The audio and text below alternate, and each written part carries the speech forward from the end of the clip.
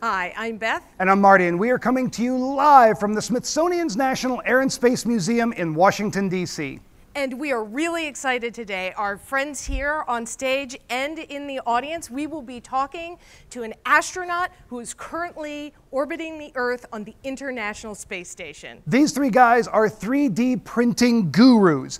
Um, and they have actually designed things that are going to be printed in space.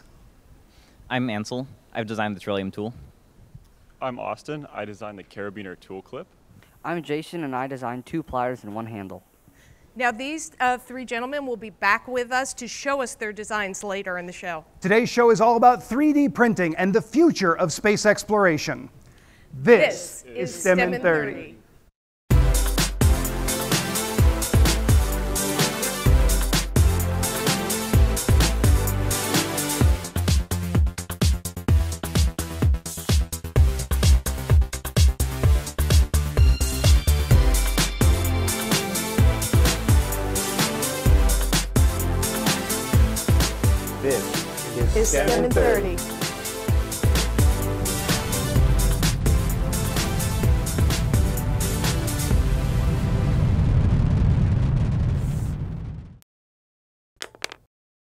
I don't know if you guys can tell, but we are a little bit excited about getting a chance to talk to an astronaut who right now is up in space.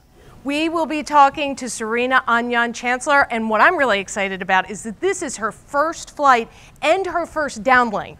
Today's show is all about the future of space exploration and 3D printing. Now, you just met the winners of the Two for the Crew Challenge. We'll be bringing them back up here in a little bit. And we'll also be hearing today from NASA and from our guests, future engineers, and they'll be talking about 3D printing in space. We're also joined by Jason Crusan from NASA, and he's going to be helping us answer that question what's next? Now, we have a great live studio audience with us today. We want to uh, welcome Girls Inc. and Higher Achievement.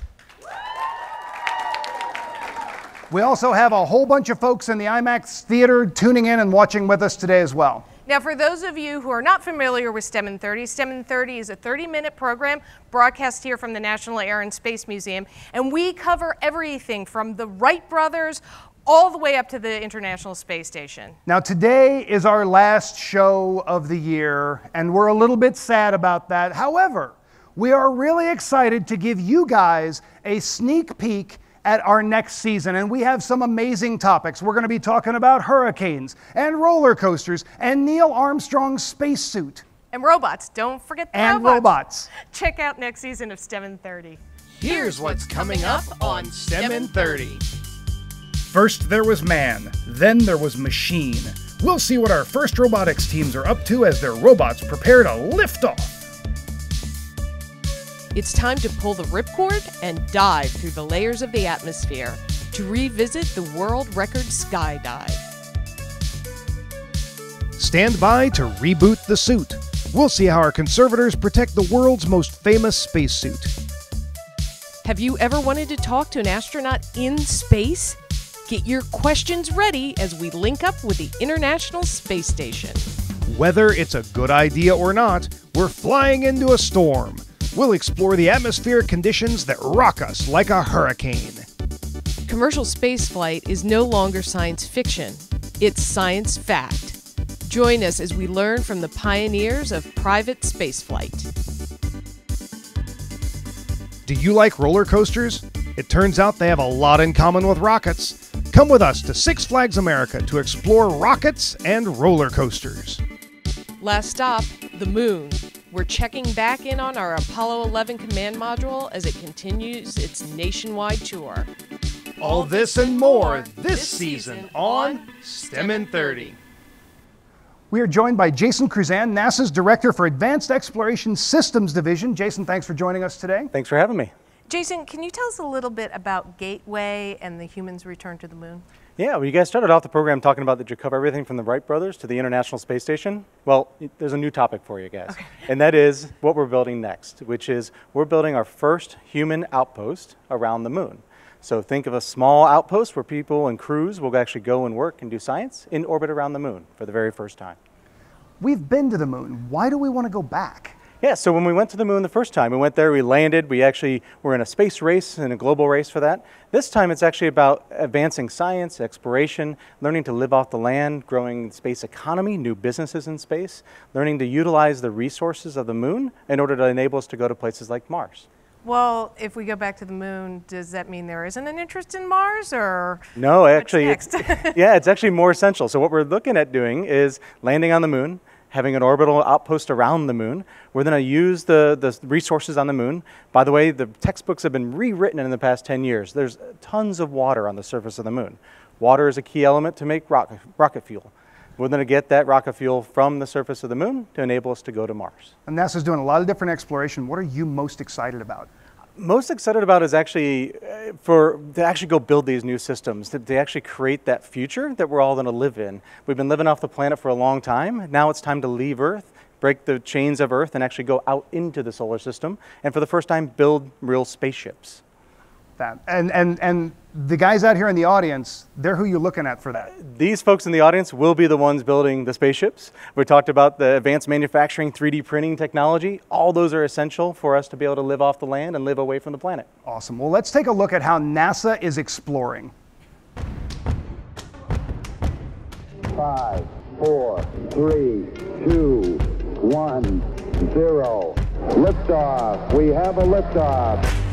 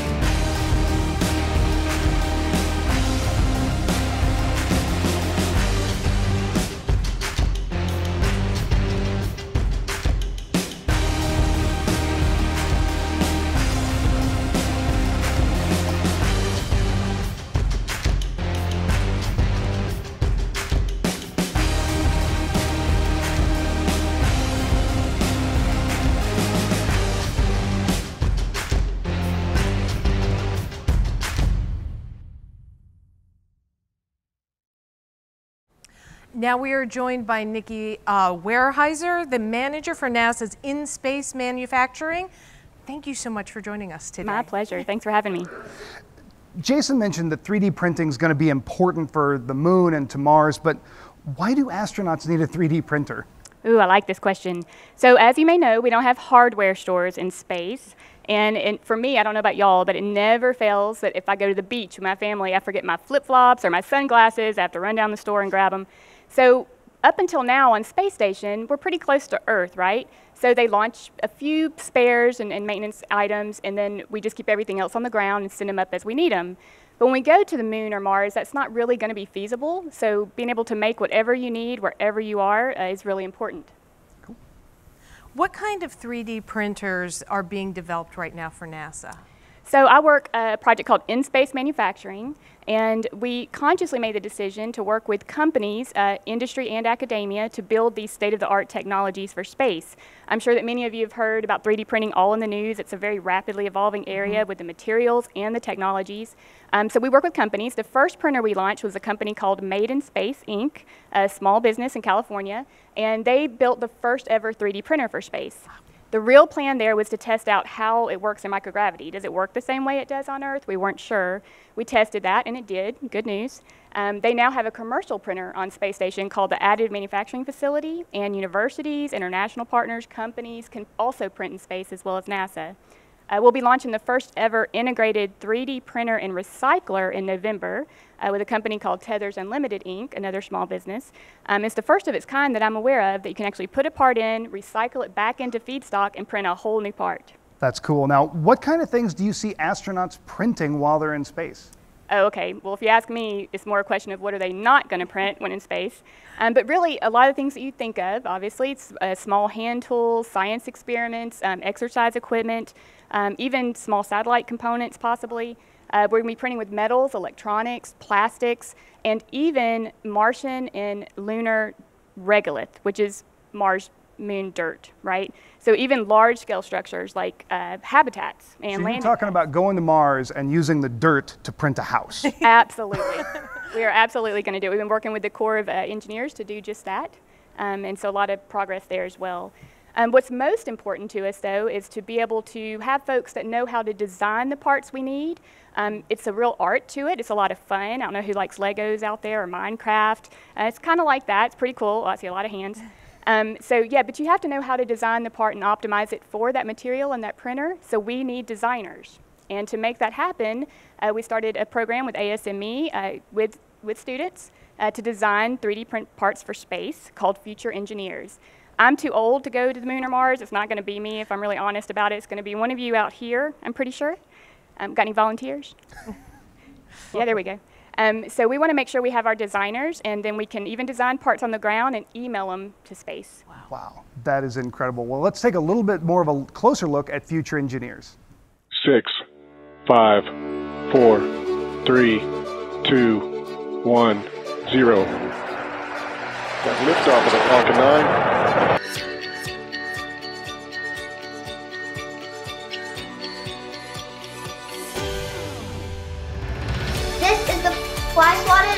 My dad use to experiment here on Earth. First you pull back the drug with one lever, then you pull back the spring with the other lever. So, so these are these are the sliding locks that are on this. So you can see here was the, um, the little divots that I was talking about.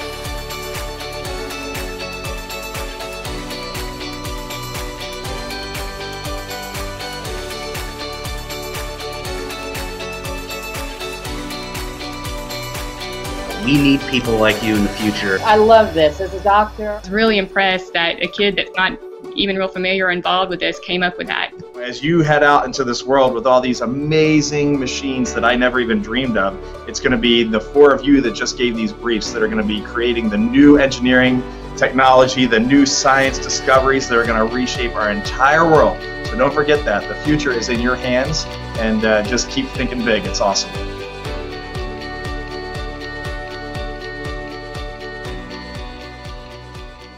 We are joined by the founder of Future Engineers, Deanne Bell. Deanne, thanks for coming in today. Thanks so much for having me. Deanne, can you tell us a little bit about the Future Engineers challenges you guys have created? Yes, I'd love to. So, Future Engineers is an online education program, and we issue national innovation challenges for kindergarten through 12th grade students all across the country.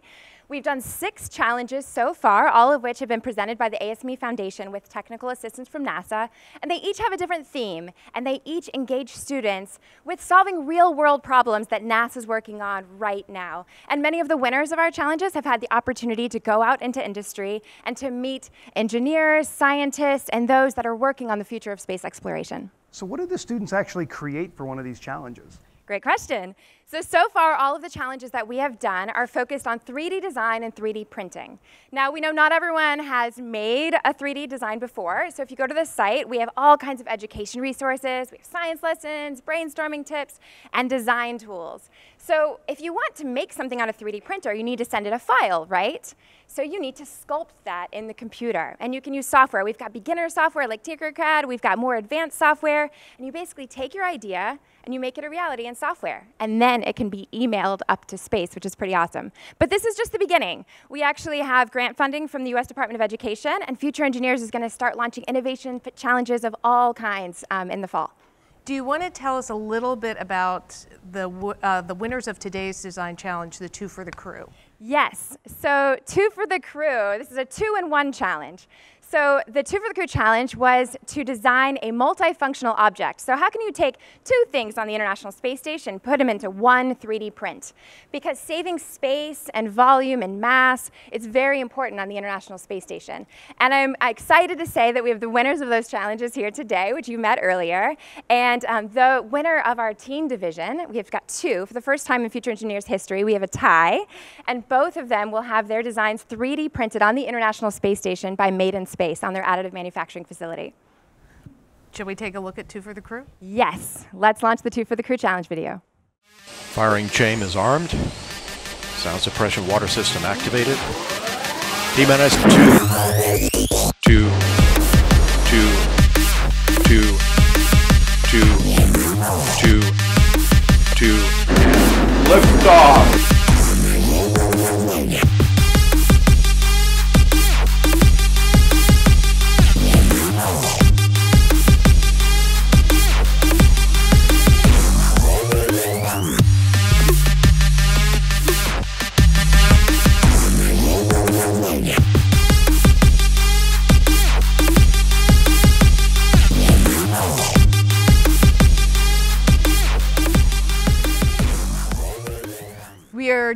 By the winners of the Two for the Crew challenge, uh, and they have their designs up here. These guys are good. Now, I recently learned a little bit about 3D printing um, and design, and so I printed a really snazzy, fancy wrench. You guys are light year. I see Jason over here laughing at my wrench, which is okay because I'm just learning. These guys are amazing. They are way beyond. Way beyond me. Uh, Ansel, why don't you tell us about your design? Yeah, um, so I've created the Trillium tool. It's a bidirectional ratchet wrench.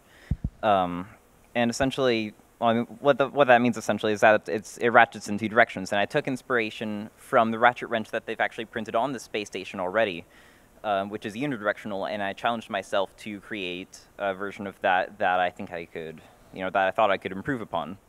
And actually, you had to redesign it a little bit, didn't you? Definitely. Um, so essentially, with this model, I had a few options uh, on the space station because there are a few limitations, uh, you know, uh, time constraints and all of that. Um, you know, assembly, and this is an assembly. This has seven parts. It would take quite a while, you know, for the astronauts to actually put it together. So it'd be much more convenient to actually print that as a as a single model. You know, something that you don't have to assemble. And that's where I've you know created this print in place model of a bidirectional ratchet wrench. Um, you know, so there's no assembly required, and it's just much more convenient. That's really neat. Thank you. Um, and Austin, why don't you tell us what your design is? So this is the carabiner tool clip. Uh, it combines a uh, carabiner that astronauts can use to clip onto themselves or any part of the International Space Station, but it also holds uh, ratchet wrenches on the side that they can use as tools for their experiments or working on the International Space Station, as well as hex sockets on the side here. Now, is this the, the first iteration of this design, or did you have to go back and work on it a little bit? Uh, no, this is about the uh, third or fourth iteration. Where'd you come up with the idea? Uh, so I was looking around um, uh, just in NASA, right? And they have a little issue on the uh, space station. It's called zero gravity, right? So things tend to float away sometimes. So I thought, well, how can we mitigate that problem? And said, well, if we uh, if we make a um, tool clip that holds their tools and can clip to them, it solves both of them. Awesome. All right, Jason, let's hear about yours. You've got a, a pair of pliers here. Yes. So when I looked on the NASA website, I realized that uh, they have pictures of the pliers that they have on Na- on the International Space Station, and all the handles are practically identical. So I decided that if we only use one set of handles for multiple plier heads, we could save the weight of the extra handles. Uh, so the you would be able to use different plier heads with the same handles. Nice. So where did that idea come from? Uh, so I was browsing their website, and then I found pictures of uh, na- of the tool sets on NASA's big training pool, which uh, I believe you have heard of. So uh, fin- since they use practically the same tools on the International Space Station, I worked off of those, and I figured out that the handles were the same, so I made this. Nice. Guys, these designs are absolutely amazing. You all have a bright future in engineering. This is incredibly cool. Thank you for sharing them with us today. Yeah, there's a lot of ways to get students excited about science and engineering. And the uh, STEM in 30 team has produced a series of videos that will show you a simple classroom experience that you can do with your students that relate to the science that is currently being done on the International Space Station. Let's check out ISS Science. Hello, I'm astronaut Randy Comrade Bresnik. I'm here with my friends Marty and Beth at the National Air and Space Museum. Comrade spent six months living and working on the International Space Station. Before his flight, we worked with him on connecting what you do in your classroom to what goes on on the International Space Station. And now that I'm back from space, I've got some of my fellow astronauts to continue to show you how everyday science, stuff that you do in your classroom, connects to what we do in space. So watch ISS Science. Now, there's nothing I like more than creating a vacuum chamber with an astronaut. Now, let's check what happens. so you have to, to learn to live in an environment where there is no gravity. If you've got a Bunsen burner in your classroom or something else that you can heat this with, it allows you to be able to see the roots as they grow, and then you just hang these in your classroom. It does look like a big ball of snot here. but you can really see but you the can strands. see all the strands of the DNA. Three, two, one, launch! Oh, that was awesome! I don't know if you guys can tell by watching that, but we absolutely love filming those with astronauts because a lot of them are just big old science geeks. Kate Rubin was so excited about doing that experiment. She pulled out, it's a big old glob of snot. one, of the, one of the astronauts that we just filmed with was Joe Acaba. Um, he is a former teacher, and uh, we uh, did a little math with him. Yes, we did. Uh, Joe was a math and science teacher, and we did. Uh, we had a chance to do a pan balance activity, which relates to how algebra works. And as someone who was not a great algebra student, uh, I really could have used this when I was in middle school uh, to help me wrap my head around. And that was a lesson I used to, to use when I taught fifth grade that an equation balances. And as long as you know that and to really be able to see it in a visual way and have an astronaut walk you through that, we think is incredibly cool. So check out ISS Science. That video will be coming out pretty soon. The other thing we were able to do with Joe, we were very lucky uh, that Joe talked a little bit about some of the ordinary things that we take for granted here on Earth uh, that become extraordinary uh, when you are in space. And so by talking to, to Joe and, and the other astronauts, we've realized they're normal people. You know, Joe, when he was in space, he might have been able to put his pants on two legs at a time, but really, he's just an average Joe. Hi, my name is Joe Acaba. I'm a NASA astronaut, but anybody that knows me knows I'm just an average Joe.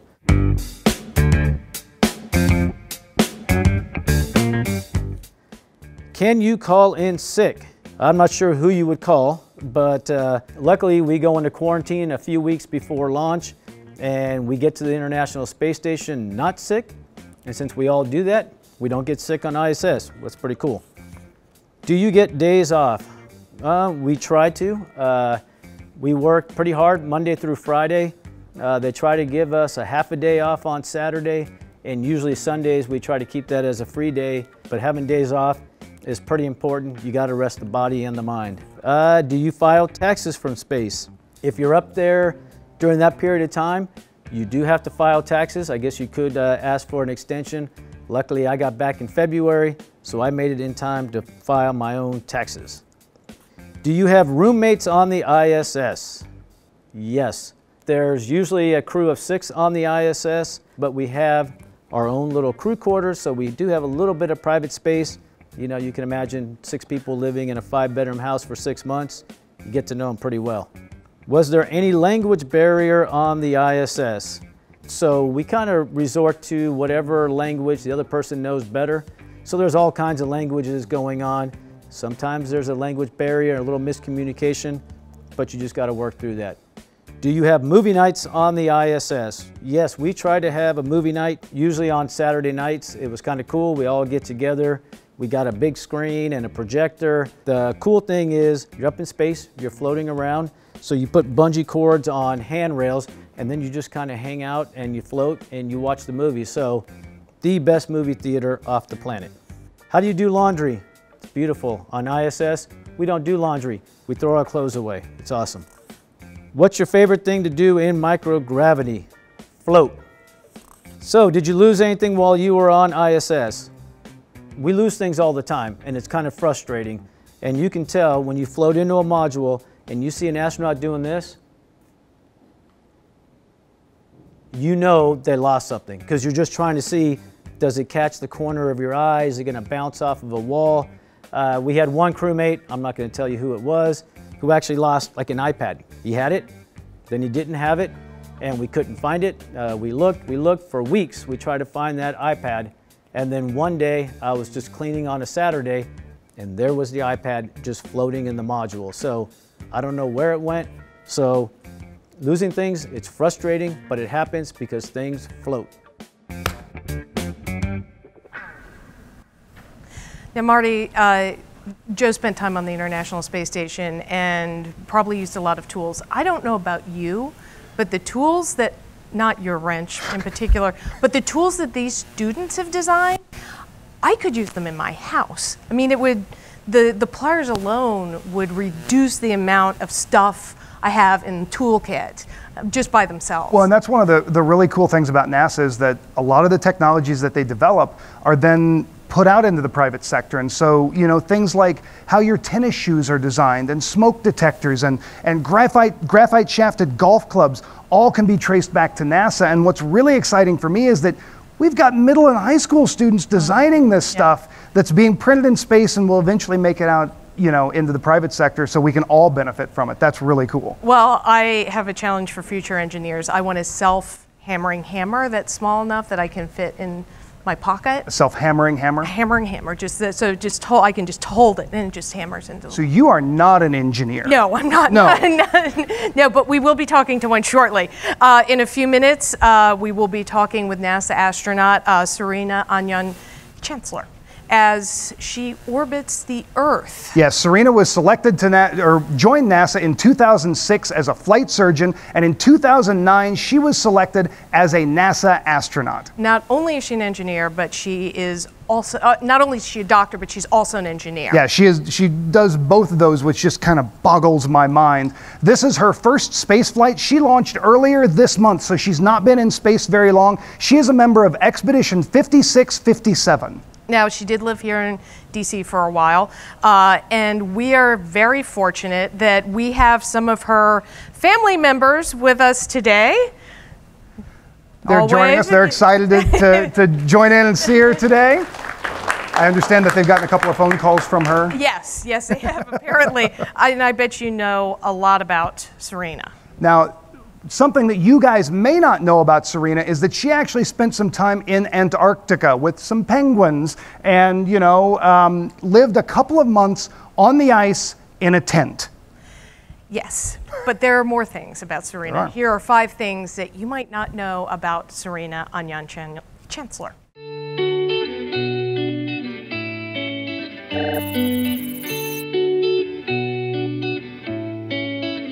Five things that you probably didn't know about me. Probably number one, our family has two dogs who, who really think they are brothers. And one is a 130 pound French Mastiff named Boss Hog, and the other is a 12 pound miniature dachshund named Oscar.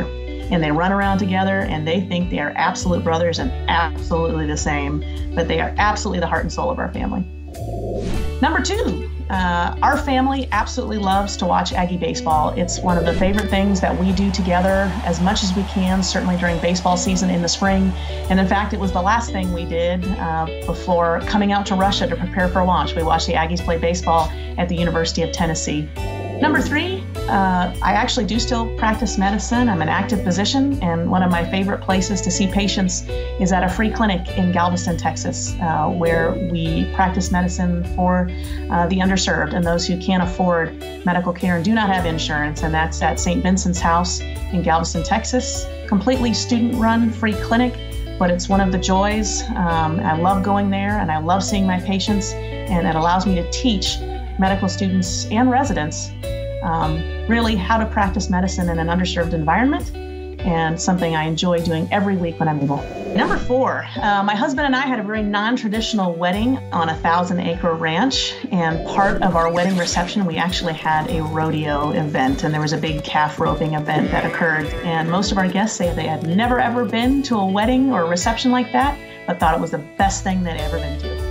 Final one, number five, something many people do not know about me is that when I was uh, getting my bachelor's degree at the George Washington University, I also needed to work to earn some money. And so I actually taught martial arts. I taught Kung Fu to school age kids from age five to about 15. And I would do that three times a week. And that's how I earned money in college, teaching martial arts.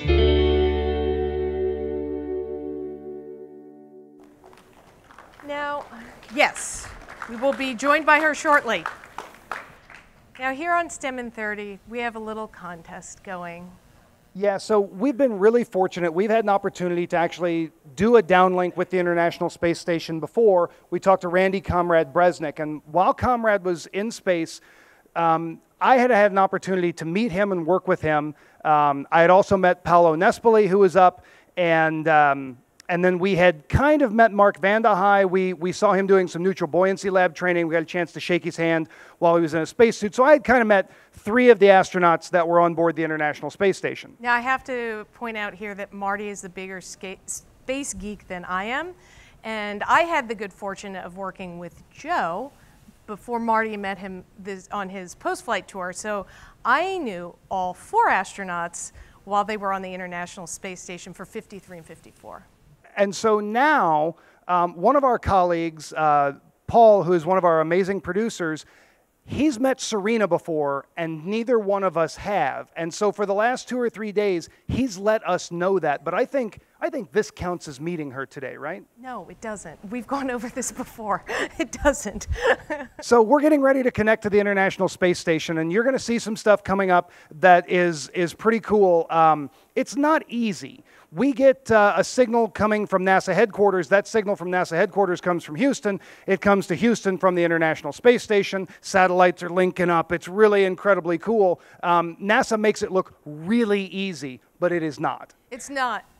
And and now what we're doing is what we're going to have to do is we'll have uh, some technical language at the beginning uh, to make sure that the, space station can go through mission control and then get to us, and then we go back through mission control, and then it goes back up to the space station, and that's how we're actually able to talk to, to astronauts while they are working in low Earth orbit. So you will see a, a little bit of a delay, you know, a, a second or so. But when you think about what we're getting ready to do, Serena is on the space station that is traveling at 17,500 miles an hour, 250 miles above the Earth, and we're connecting with her with about a one second delay. That's pretty good. Oh, it's terrific. Uh, also, one of our curators, and I know that uh, Serena's sister has gotten phone calls.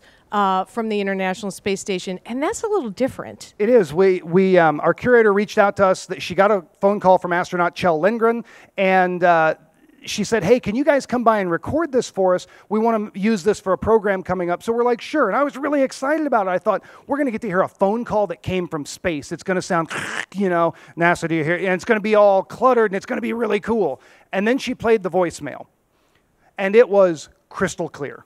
I mean, crystal clear. It, it didn't sound like it was coming from space, it sounded like it was coming from next door. And the other thing that they get to do is uh, they will watch television up in space. Uh, they have email and can they do video conferencing? They can. They can do. So there are a lot of different ways that the astronauts stay in contact with their family while they are on the International Space Station. And with the last crew, we were lucky enough that uh, some of our material was actually sent up to the International Space Station. Yeah, and, and one of the things that we've learned doing some of these shows and talking to some people in Houston is that keeping the astronauts healthy is really important. And when we talk about health, we don't only mean their physical health. They work out for two hours a day. Um, I think if I were on the International Space Station, I would make sure that I could run for 90 minutes because then I could say I ran all the way around the Earth. I think that would be really cool. But not only do they keep them physically healthy, but they also keep them mentally healthy. And the phone calls are one of the ways to do that. Talking to Earth, like we're getting ready to do, is a way to do that. They also send up information for them. So if they want a newspaper, they'll send up the newspaper. They'll send up TV shows. Um, they'll send those things up for them to keep them healthy. And then one of the astronauts' favorite things are resupply missions. Okay. Oh, we're getting ready to hear from Okay, Capcom. get- get. Station, this is Houston. Are you ready for the event? STEM in 30, this is Mission Control Houston. Please call station for a voice check. Station, this is STEM in 30 and future engineers at This the is STEM in National Air and and Space future Museum. How do you hear me? And I have you loud and clear at the Air and Space Museum. Hello, future engineers. Very good to be with you today. Hi, Serena. This is Beth Wilson and Marty Kelsey, and we are really excited to be talking to you right now. We have the 3D printing winners here and a bunch of kids with uh, a lot of questions. And to begin, Marty's got a question. Serena, how has your first trip into space been so far? You know, it has been outstanding. The rocket ride up here was absolutely amazing, and it's it's really fascinating to see how quickly your body gets used to moving in space and realizing you have so much more space to, to float in and fly in here than you do just by walking on the ground. Serena, we have Jason here. He is one of our challenge winners, and he has a question. So, uh, what are some of the possible uses of in space manufacturing in the near future? Jason, that's a great question. And, you know, after being up here for almost a month now, I realize how quickly that that's a very critical need. And the reason is, is, you know, we're always doing maintenance on board the space station, making sure when things break, we're able to fix them. But every time we need parts or tools or anything that, you know, that we may need to help fix the station, we have to launch it from the ground. And so that's a lot of upmass, and that means we need rockets to do it. And so we're able to create some of those parts, whether it's a drill bit or anything like that. If we could make that up here in space, you know, by utilizing something like 3D printing, that would be so much better and easier for us. We've got Ansel, one of our two for the crew challenge winners. Ansel, what's your question? If you could have anything you wanted 3D printed on the ISS, what would it be? Hi, Ansel. I love this question because the first thing that came to mind was ice cream. I really miss ice cream up here.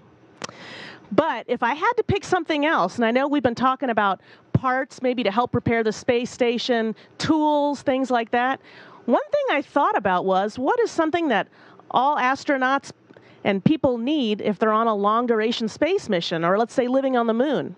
Medicines. Is there some way we could 3D print medicines on board the space station. Sure, it's not using plastic like what you're used to seeing with 3D printing, but could we use some of that other biological material and create medications for people to use? So that's the one thing that came straight to mind. And we have Austin, who is another uh, Two for the Crew challenge winner. Austin, what's your question? Do the material properties of 3D printing material change when printed in zero gravity? So, Austin, that's another terrific question. And actually, the, the, the materials themselves, the properties don't change, but the way they extrude from the machine, we think may change a little bit. So far on the space station, we've done more of a technology demonstration to say, does 3D printing even work up here? Are we getting what we expected? And the answer is yes. So when it comes out of the machine, like that, we are still getting the objects that we expected. But I think in the future, they're going to have to look at hey, it may look the same as it does on Earth when we use a 3D printer, but is the internal structure of the object the same, or does microgravity affect that? Because we see so many bubbles and everything. Great question. If there is no up, down, left, or right, how do you know what direction you are going in? You know, there are many days that I start going into a module and I'm not sure where I'm going. And then I come out to eat breakfast. And there are people eating breakfast on the side or even upside down. And so I see all my crewmates and I think, where am I? And what direction is everything pointing? And the great thing is, you can point in any direction. There is no up, there is no down. It's really neat because if there's a bunch of us in one module, we can all usually wiggle and fit and fly around each other and do what we need to do. Serena, our next question might be from a voice that you recognize.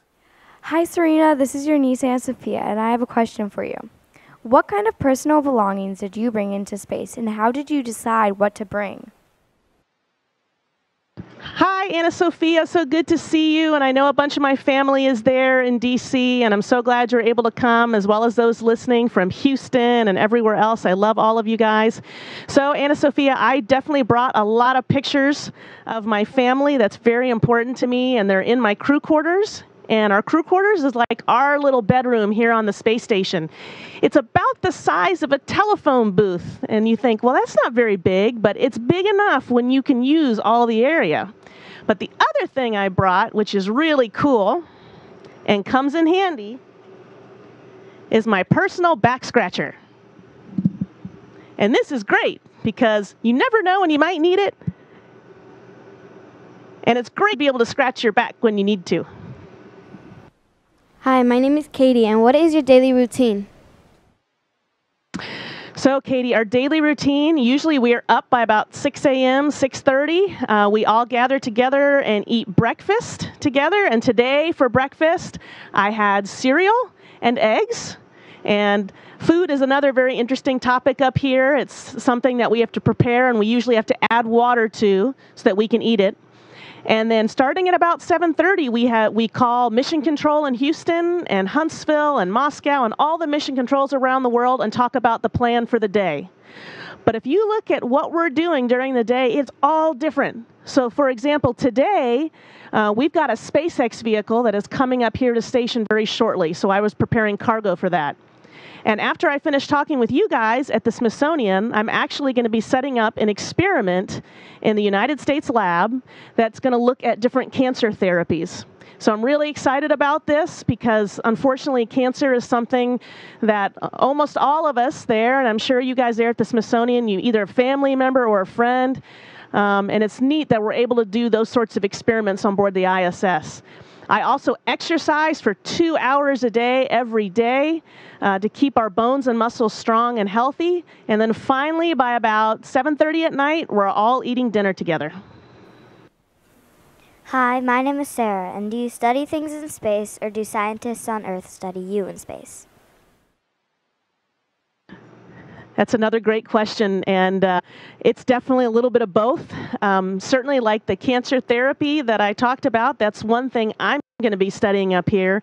But scientists and engineers and everybody in the ground are constantly monitoring myself and the rest of my crew. Uh, they're looking at the different changes that happen in our bodies, with our muscles, with our heart, and with our eyes. They've even seen some changes in the eyeballs. And part of the reason they're doing this is because they think that some of the things they discover with us could help people on Earth. And the other goal that they're looking at is when we go to a place like Mars or you know another maybe even the moon where we go back to live for a long period of time, we want to know what's going to happen to the human body over that period of time. And so they're constantly studying us and we're even drawing blood on ourselves up here just like you do in the doctor's office and we're sending those results down to the ground. Hi, my name is Ramsey and my question is have you ever had the idea to get a lot of water, pour it out, and see what happens. Let me show you what happens with water. Hold on one second.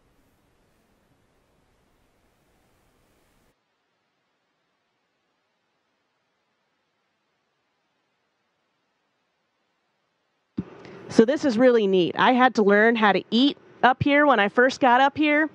But you got to look at what happens to fluids. Nothing really pours up here. So I can open a special packet of soup and that soup isn't going anywhere. It doesn't spill out. It sticks to the surface and it sticks to each other. And that's because of something called surface tension. This is a drink bag and it's filled with raspberry lemonade. And I'm going to show you what happens when I open this valve. It doesn't come pouring out. Just watch. That bubble will keep getting bigger and bigger and bigger. I'm going to make it kind of big. And then watch what happens when I stick my hand to it.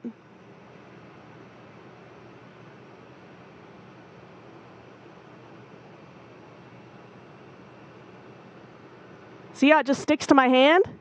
It just waves there. It doesn't really go anywhere. It just sticks right to the surface. So I could drink my lemonade right from my hand. Oh, and look, I almost lost my drink bag. If you don't, if you turn your back, everything floats away. Oh, there goes water everywhere. Okay, hold on.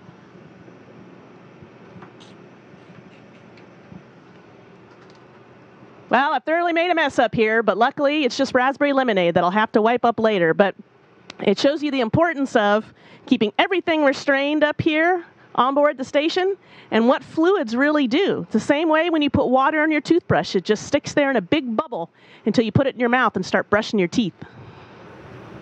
Hi, my name is Bridget. What, in your opinion, is the hardest thing to do in microgravity? Well, I got to be honest, because that's a great question. And some of the hardest things to do up here are things that you do every day on the ground pretty easily.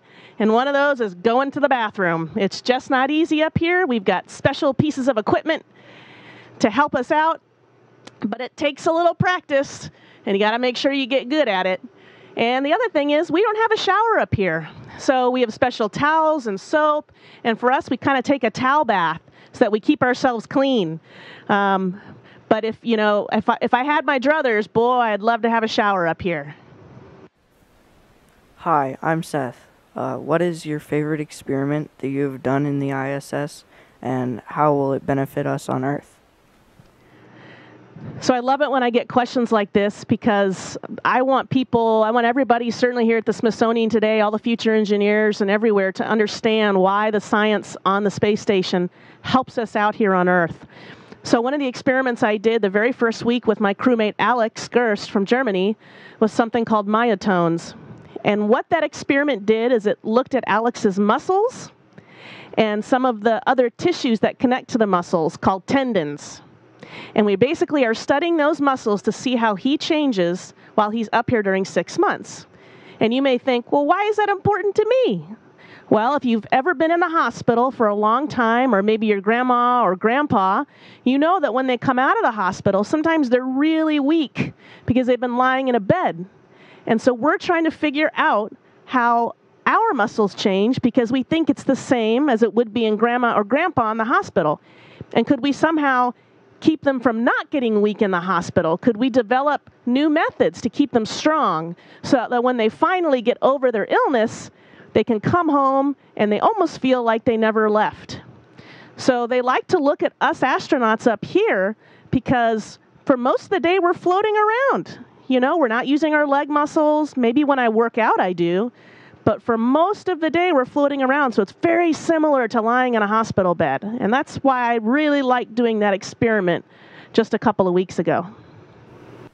Hi, my name is Laurel. And my question is if you could build another space space station, what would you do to improve it? Ooh, so many things come to mind. This really the space station is an amazing laboratory up here and i was so impressed when i first got here with everything that i saw but if i got to pick i'll say two things. I would definitely have a shower. I don't know how we do it but something because just a warm hot shower would, would feel so good. And the second thing is and this may surprise people but you think about all the trash cans you use in your house and on Earth on a daily basis. Very easy to throw things away, and it is for us up here too. The problem is, for a period of time, we have to live with our trash. We can't throw it on the curb and have the trash men come pick it up. So we are very careful about sealing and isolating things, but trash builds up really quickly when you don't when you're having to live with it. And we just don't see that on Earth because we give it to the trash men every day and let them take care of it. And so we need a good way for us to handle trash up here and get rid of it in a much, much easier way. Because right now we send it down on our visiting vehicles, on our cargo vehicles that come up. We actually pack those full with a lot of trash sometimes to get it off the space station.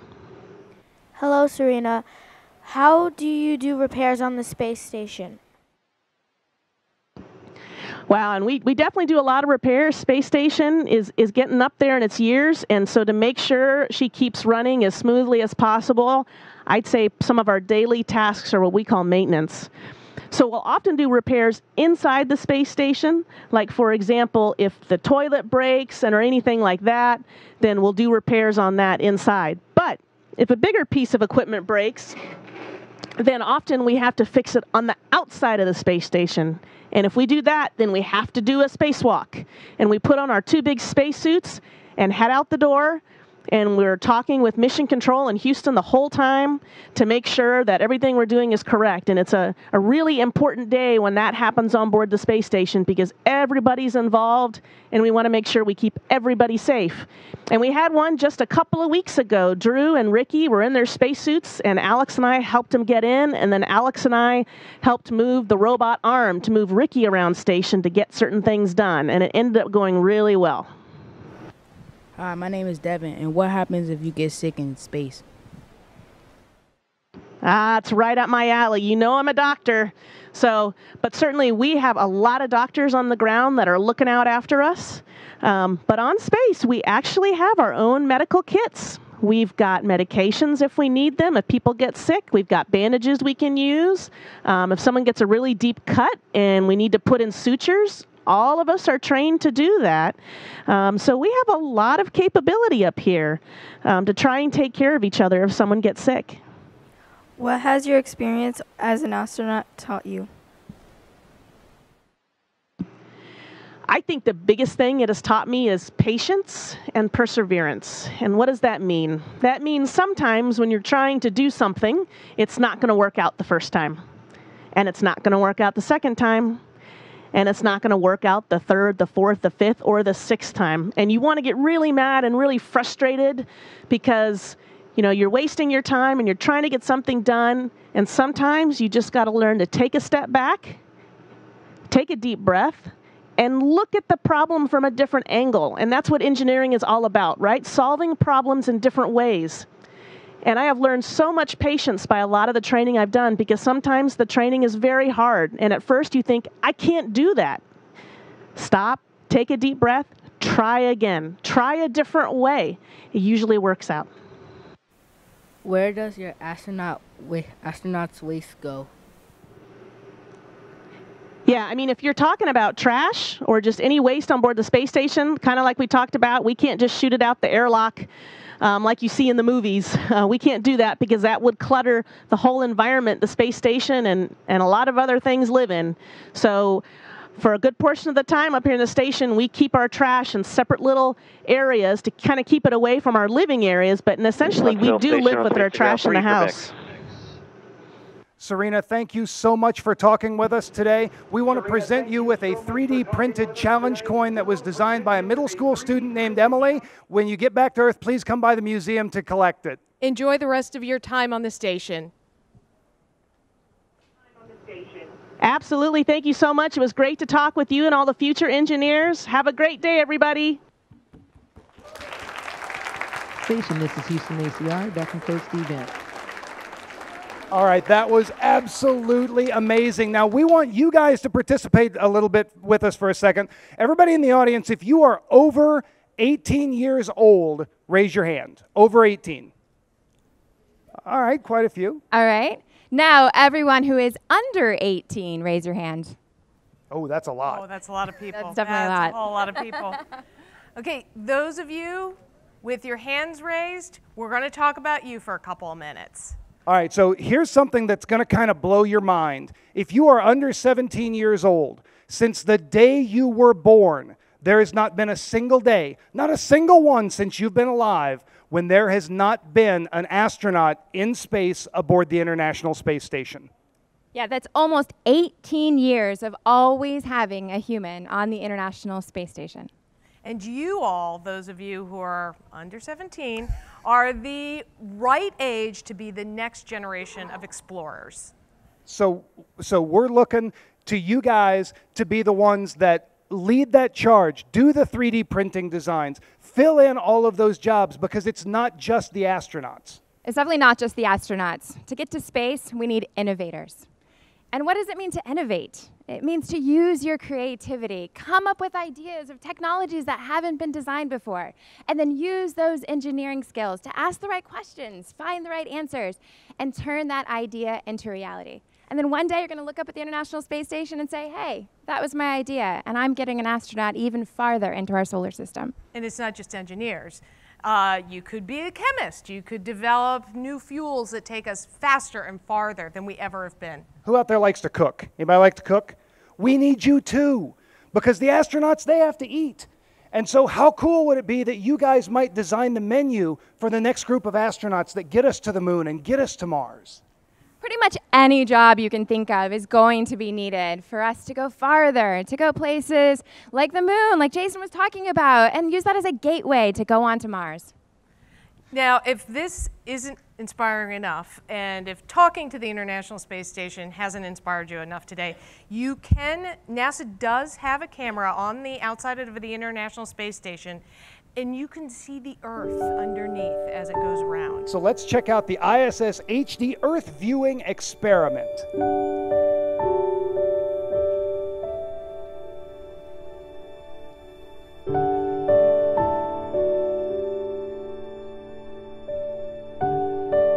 Thank you all for being here today. That's all the time we have.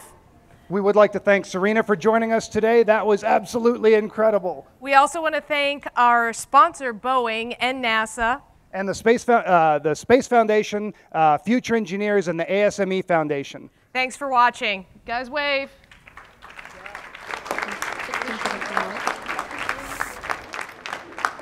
Five, four, three, two,